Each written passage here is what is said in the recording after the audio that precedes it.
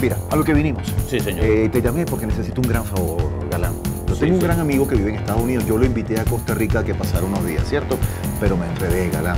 Teus, Teus, Teus y Teus, hoy en día tiendana. Todos los días muere una persona aquí, Mateo. Venga, que lo pague. Ten cuidado la moto. Que lo pague. Venga, venga, Mateo, corra, corra.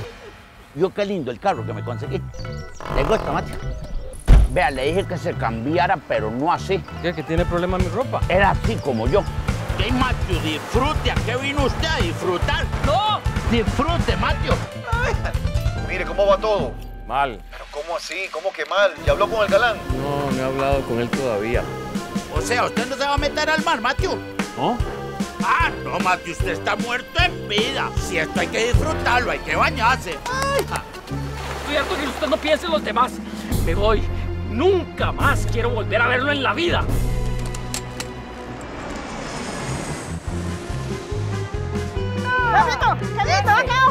Es el galán. Salga para ver. Así le piden los gringos. Sí, feo, así la piden, galán. Así la piden. Es raro, ah, que esos gringos lo piden o no feo. Ah, Dejemos eso, está bien. Dejemos eso. Siguiente. Me la dieron por tres meses, Richie, gracias a Dios. Todo tonto es derecho, galán. Yo no puedo creer que usted le haya dado la visa. Y no aplauden el avión, no sea tan polo. ¡Se porta bien, Tito! Omar, perdone. Puedo cerrar la puerta, digamos. Es que como veo otros campitos así, o viene más gente. Bueno, aquí duermen tres personas más. Puede cerrar la puerta si no le molesta que se la abran. Anita, qué lindo es viajar bye, poder conocer gente tan linda, así como usted y Omar y doña Olga, ¿verdad?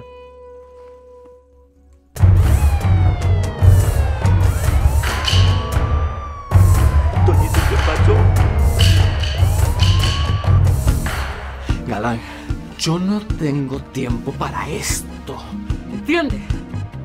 Usted no vino aquí solamente para traerme estas cosas, ¿verdad?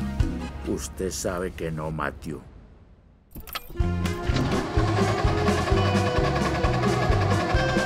¿Y qué pasa? ¡Que no arranca!